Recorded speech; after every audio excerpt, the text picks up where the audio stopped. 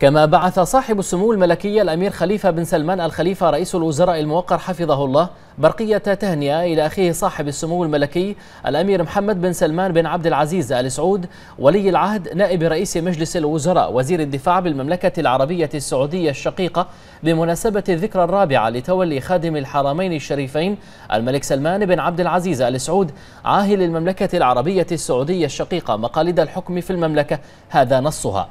صاحب السمو الملكي الأمير محمد بن سلمان بن عبد العزيز آل سعود حفظه الله ولي العهد نائب رئيس مجلس الوزراء وزير الدفاع بالمملكة العربية السعودية الشقيقة. السلام عليكم ورحمة الله وبركاته وبعد.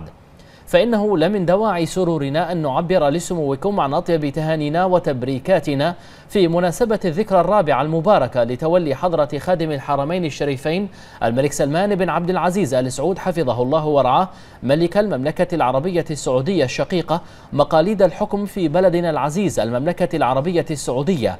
مشيدين بالإنجازات التاريخية التي تحققت في عهد أخينا العزيز خادم الحرمين الشريفين في شتى المجالات وبقيادته الحكيمة لمسيرة التقدم والنماء لمجلس التعاون لدول الخليج العربية.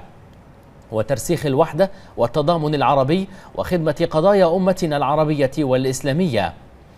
كما ونود أن نعبر عن اعتزازنا بالعلاقات الأخوية التاريخية الوطيدة بين بلدينا وشعبينا الشقيقين ولما تلقاه مملكة البحرين من دعم متواصل من شقيقتها المملكة العربية السعودية.